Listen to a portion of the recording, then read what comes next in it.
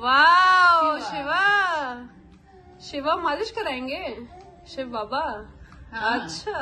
हाँ। अच्छा अच्छा शिवा अच्छा का होगा ऑयल मसाज बहुत दिन के बाद धूप निकली है।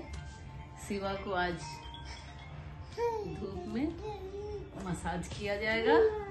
हम्म। मसाज कौन करेगा? ओहो इसके आँख में धूप आ रहा है।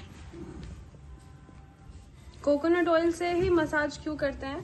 ये तो रीजन बहुत नहीं पता है लेकिन अभी जितने डर्मेटोलॉजिस्ट के पास गए वो बताते हैं कि कोकोनट ऑयल बच्चों के लिए अच्छा है या बड़ों के लिए भी।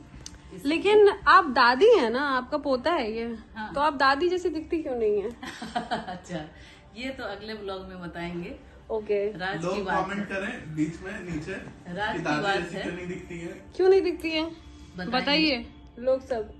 लोग सब। हम्म, हम बताएँगे कि लोग सब बताएँगे। आप हमें बताइएगा बाकी लोग भी। आपको बताएँगे। हाँ। बताएँगे। अगर लोग पूछेंगे तो बताएँगे। ठीक है? शिवा का ऐसे होता है लेग मसाज। ठीक है? उसके बाद ऐसे थोड़ा तरवे में जो सून तो भी दादी होने वाली हैं। हम्म, ट्यूटोरियल प्रॉपरली ले लीजिए। अच्छा।